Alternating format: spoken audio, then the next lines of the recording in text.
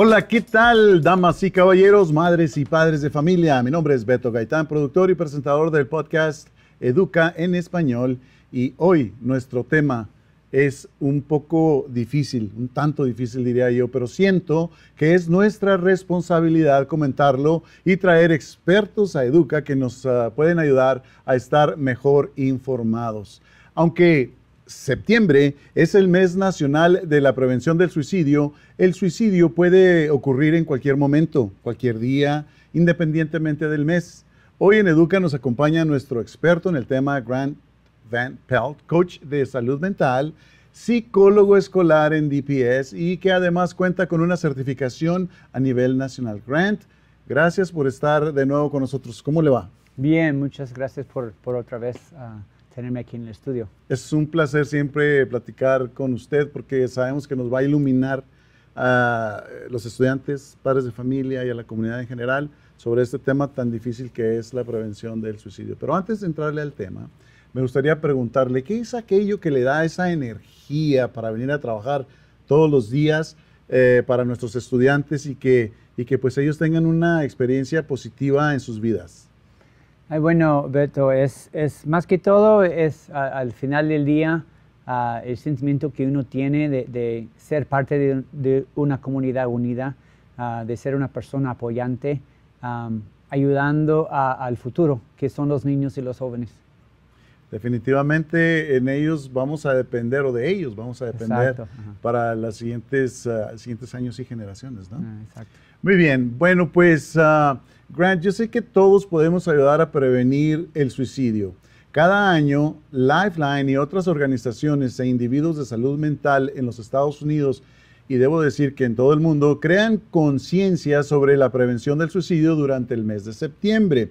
Eso también puede verse como una oportunidad para que defensores de la salud mental, organizaciones de prevención, sobrevivientes, aliados y los miembros de la comunidad como nosotros, ¿verdad? Se unan para promover la concientización sobre la prevención del suicidio.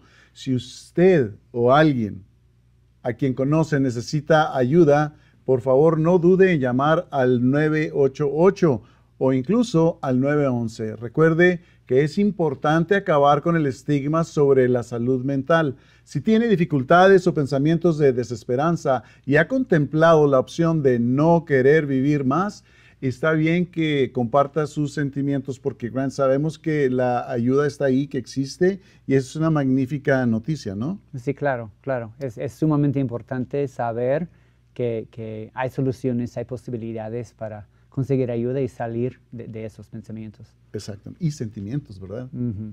Muy bien. ¿Qué es el suicidio? Bueno, um, básicamente uh, el suicidio, por supuesto, es, es la, la, decisión de, de, ya no vivir. Um, pero es me mejor pensar en el suicidio como un síntoma de algo más profundo.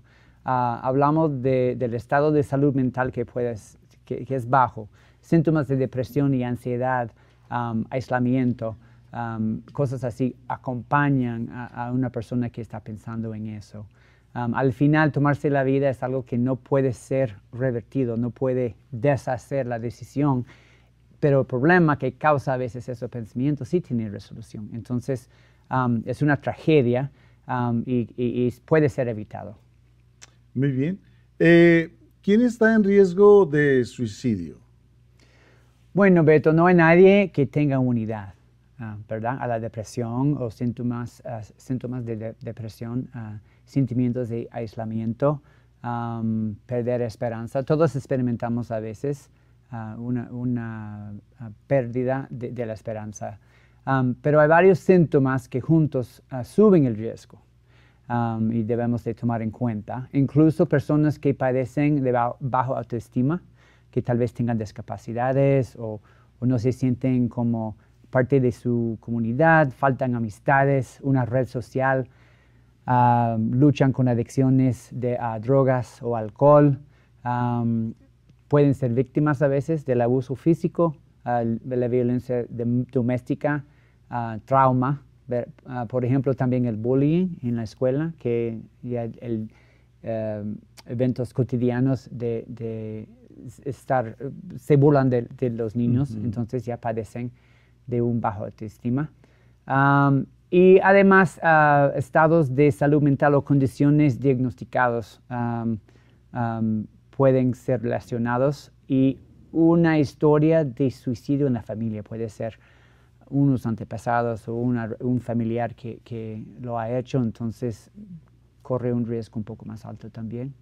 ¿Hay alguna explicación del por qué puede tener el riesgo de, Puede ser relacionado con el estado de, de la salud mental, ¿verdad? Como depresión, si, si hay un aspecto genético a, enfermedades o, condiciones ah, de salud mental que, que, provocan, que causan como una depresión, un, un pensamiento y sentimiento que no, no, hay solución a mi problema.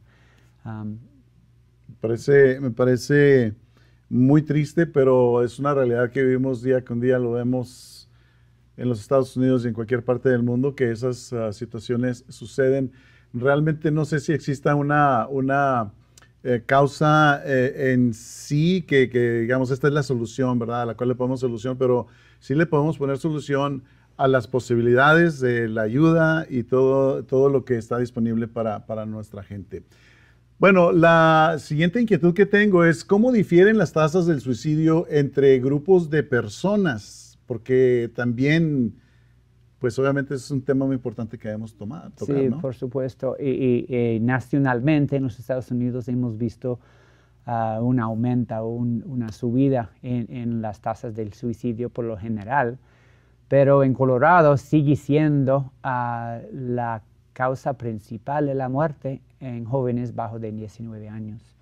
Um, entonces es, es, como un estado de casi, es, un crisis de, salud mental en nuestro estado, tanto que en todo el país.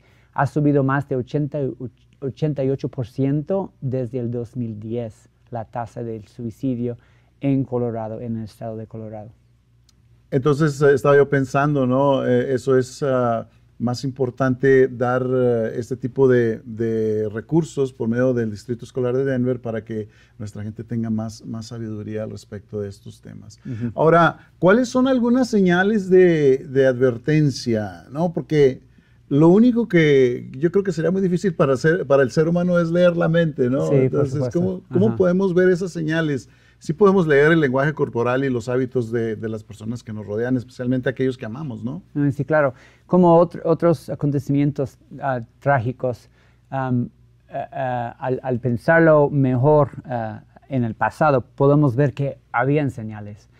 no viene del aire puro, o sea, no, no, no, viene de nada.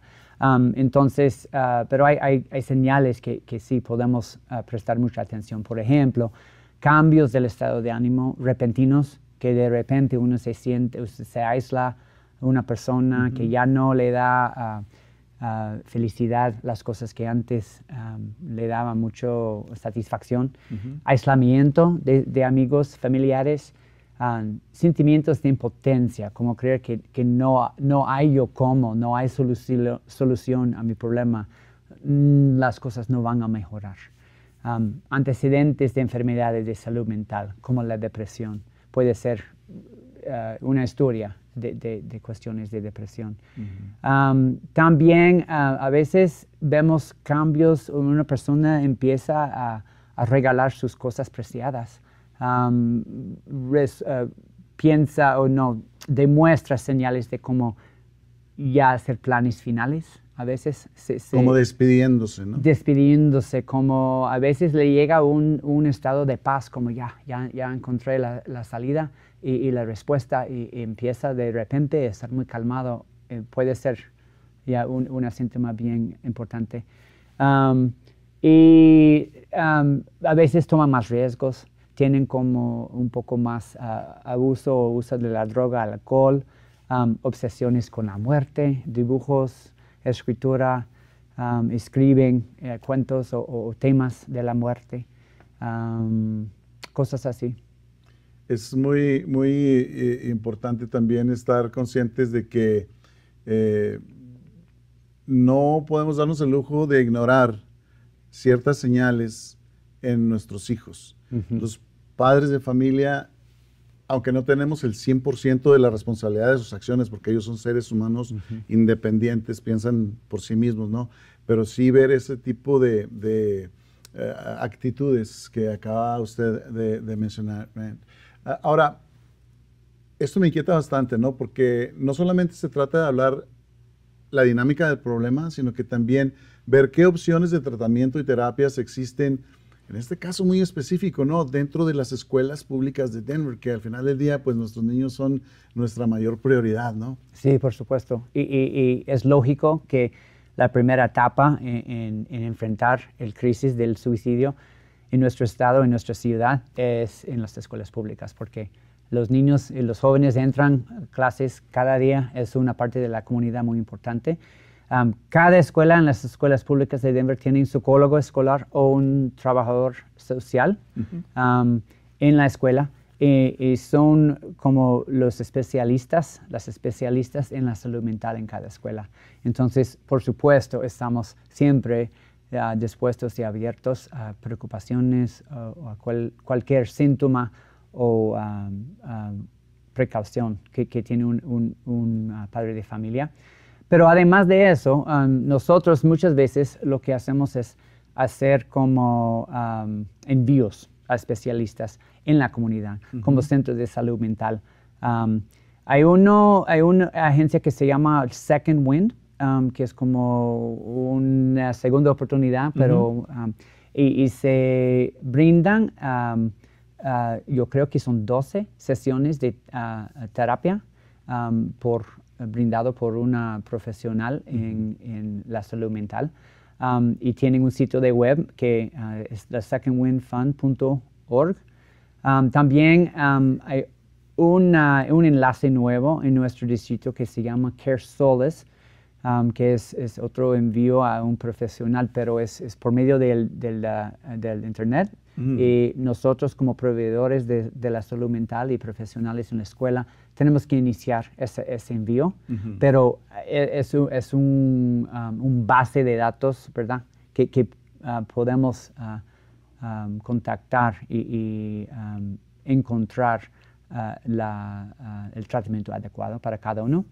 Hay otro que me, me llama la atención mucho que se llama I Matter, yo importo, .org y también dan sesiones, sesiones gratis, um, gratis a, personas que buscan ayuda, necesitan ayuda, eh, consejería para buscar la solución, que, que, no es terminar la vida. La solución es seguir con la vida aunque tenemos problemas pesados a veces. Um, por fin, en momentos de crisis, de veras, como una persona está en, el punto de, de, como no estar seguro si, si lo deja solo, tenemos a 988, que es una línea nacional, al nivel nacional ahora, que reciben llamadas a, crisis. Por supuesto, si es aún más emergencia, pueden llamar al 911. Um, pero tenemos varios niveles de, prevención y de uh, tratamiento. Muy bien. ¿Sería viable o factible este, preguntarle a alguien sobre el suicidio si trae la idea en la, en la cabeza, ¿verdad? Porque todo, yo pienso que todas las acciones comienzan precisamente con un pensamiento, ¿no? Entonces, yo pienso, sería este un momento clave, digo, más allá de lo obvio que pueda sonar. E, es, buena pregunta, Beto, gracias por haberlo preguntado, porque es un mito muy común y, muy perseverante. de hecho, el hablar de cómo se siente y admitir que tengo algo con, lo cual estoy luchando es una liberación. Ah, muchas veces se siente tan aislado y tan solo que así no hayan la solución. El no hablar del tema es, es más uh, dañino ah, que pensar en o, discutir. Que los niños, los jóvenes saben eh, que, que, es una posibilidad, que hay personas que lo han hecho. O sea, no es un secreto, no, no es un secreto que personas pueden terminarse la vida y, lo han hecho.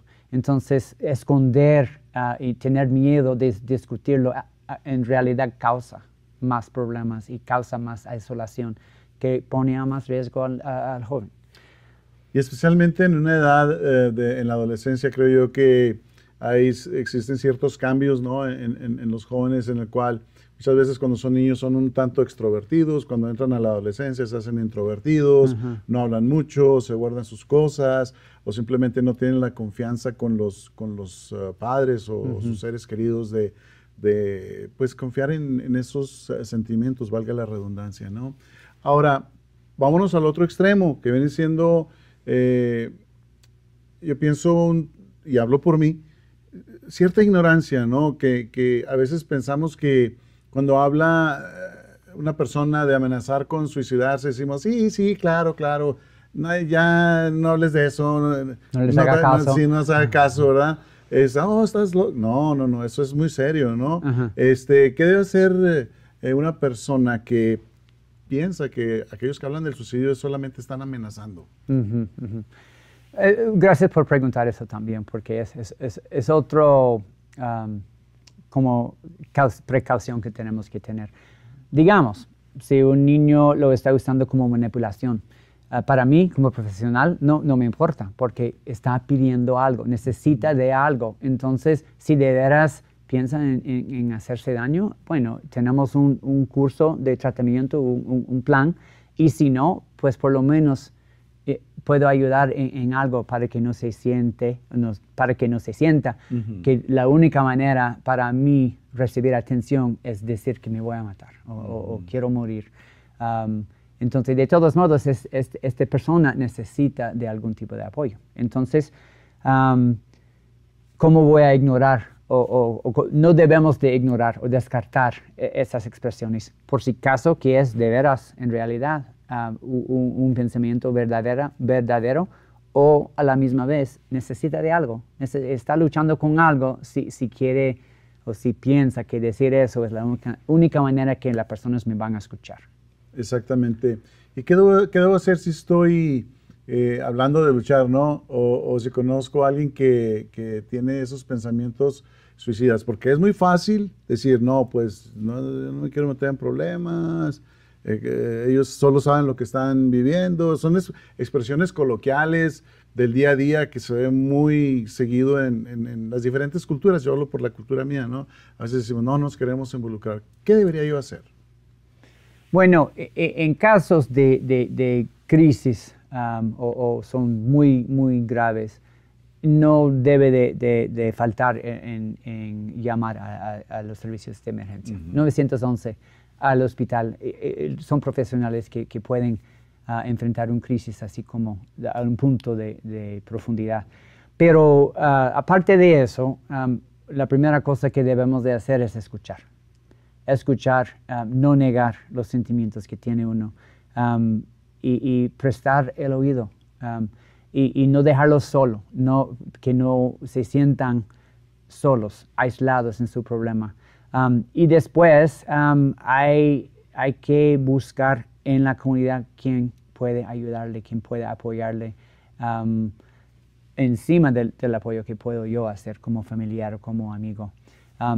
Como dijimos o como estamos discutiendo en las escuelas públicas, hay profesionales que, que eh, saben de eso y, es, es, nuestro papel de discutir esos temas. Entonces es perfectamente bien consultar y hacer saber a una persona profesional en la escuela. Um, hay uh, servicios anónimos, uno puede llamar um, al Safe to Tell. Um, tenemos un número que, uh, ahora, le vamos a, compartir.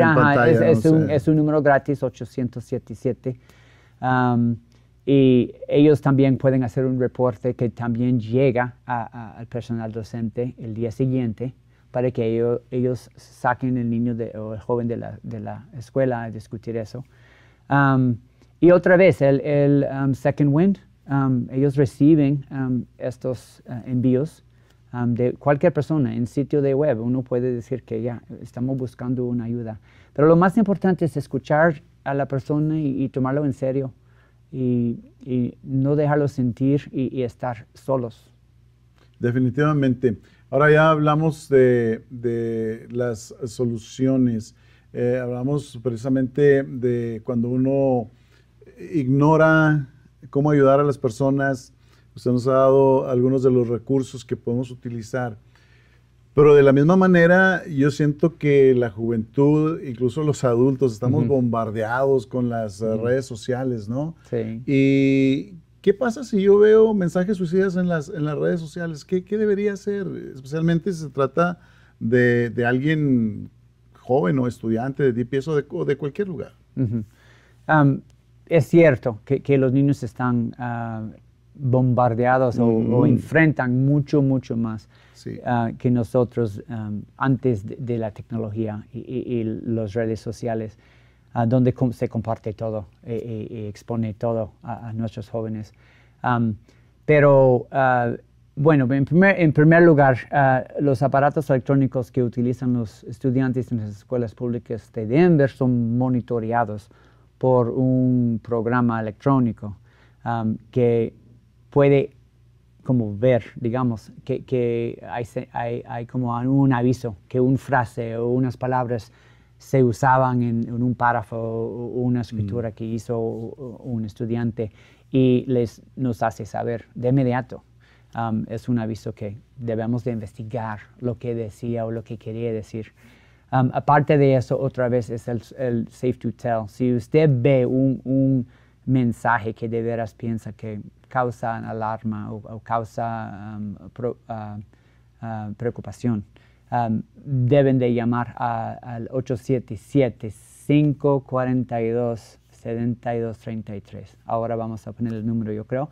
Pero también tienen un sitio de web y puede hacer un reporte ahí también. Vi tal cosa en esta red social y decía eso y quiero que alguien um, le haga um, una, una intervención. Hay de, vez en cuando, es hasta la, la policía van a la casa a asegurar que la persona está bien, que no de veras está en peligro de, de lastimarse de una vez. Exactamente. Vuelvo a lo mismo, dejemos lo del estigma, ¿no? De la salud mental. Si viene la policía a nuestra casa y va a salvar una vida, bienvenidos, ¿no? Sí, esperamos, ¿verdad?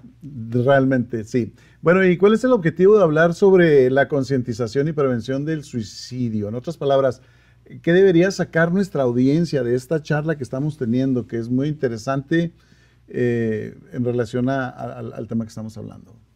Bueno, eh, eh, después de todo, eh, si, si, si um, fueran como tres cosas que uno puede um, cautar o, o- o sacar de, de- de nuestra charla, es que de veras el suicidio es, un, es una crisis. O sea, existe, es verdadero y, y está subiendo la tasa en, en Colorado, tanto que en el país. Um, es algo que debe de tomar en serio. Uno, uno no puede, no debe de ignorarlo o, o, um, como decir que, que no le haga caso o, o eso. Es, es algo serio que debemos de pensar. No debemos estar en negación. Eso, en negación. Gracias. Um, y además, um, que, que las cosas pueden mejorar con un apoyo, que, que sí sí tiene solución, no es algo que no tiene salida. Um, yo digo, nada bueno viene de- del ignorar el tema, pero nada menos de salvar una vida viene de discutirlo y tomarlo en serio y buscar ayuda. Exactamente. Y me, me gusta mucho que eh, usemos la palabra, la palabra ignorar, porque ignorar no solamente, bueno, no significa eh, que una persona no es inteligente, simple- simplemente significa que no sabe algo o que quiere no saber algo. Entonces, ah, eh, desde, ese, desde esa perspectiva, pues creo yo que es muy, muy importante eh, verlo y, y sentirlo como, como comunidad. Vaya. ¿Algún mensaje final? Bueno, no más que, que ah, le agradecemos muchísimo por dar tema, ah, por, disculpe, dar tiempo al tema, porque por lo mismo, por la educación y por ah, la charla frecuente, pues la comunidad empieza a, a- a cambiar, a cambiar y a abrirse, am, a luchar contra la negación, que, que es en parte una, una de las causas, o por lo menos ah, algo que, que le hace peor ah, los resultados. Muchas gracias, Grant. A mí me gustaría concluir con algunos uh, hechos, algunas verdades en general. Eh, el suicidio es la octava causa de muerte en Colorado, ya lo había mencionado uh, Grant en 2019, es cuando tuvieron el último estudio. Es ocho veces más personas que murieron por el suicidio que en accidentes automovilísticos. De ahí sale la expresión de que es, es realmente una crisis. Una de las cosas que también me llamó mucho la atención es que el 65.31% de las comunidades no tenían suficientes proveedores de salud mental para atender a los residentes en el año 2021, según las directrices federales. La buena noticia para nuestros padres de familia, para nuestros estudiantes y toda la comunidad de las escuelas públicas de Denver es que tenemos profesionales como Grant y muchos otros que están en las diferentes escuelas, ¿no? Y por último, también me gustaría mencionar que según el sitio web del Instituto Nacional de Salud Mental, dice que el suicidio es una de las principales causas de muerte en los Estados Unidos y un importante problema de salud pues a nivel global. Los efectos se sienten en sus familiares, amigos y comunidades. Y entonces, pues con eso dicho, pues solamente me resta eh, despedirme. Muchas gracias, por haber estado con nosotros el día de hoy. Con mucho gusto, gracias a ustedes. Muy bien. Y bueno, pues ah, esto concluye el podcast de Educa DPS por el día de hoy. Eh, la sugerencia, petición es que nos ayuden a compartir este contenido con familiares, amigos y otros miembros de la comunidad. Para obtener más contenido de Educa y otras historias, por favor visite y suscríbase a nuestro canal de YouTube. Eh, la dirección es arroba Denver Public Schools Plus y para versión de audio eh, de podcast, estamos también en las diferentes plataformas de podcast, valga la redundancia, para más que, que, son más populares, ¿no? En este caso Spotify, Apple, Buzzsprout y otras más.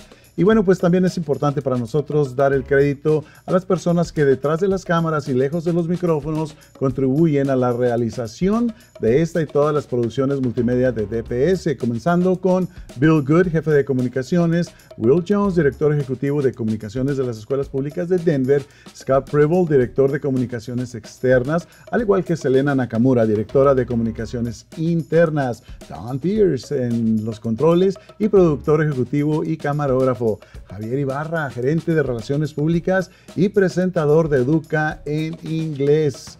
Hannah Young está a cargo de las redes sociales. Katie Hamilton es especialista en comunicaciones estratégicas. Georgia Alexander, especialista en comunicaciones de Bond Emil Levy, al igual que April Spites, uh, diseñadora gráfica. También un agradecimiento especial a nuestros educadores, como Grant, estudiantes y padres de familia. Gracias también al doctor Alex Marrero, orgulloso superintendente de las escuelas públicas de Denver, por apoyar a Educa y todas las demás plataformas. En la producción multimedia y conducción de Educa en Español, tu servidor Beto Gaitán. Recuerde que es muy importante darles ese voto de confianza a sus hijos y decirles todos los días, yo creo en ti y sé que lo puedes lograr. Con permiso, hasta la próxima.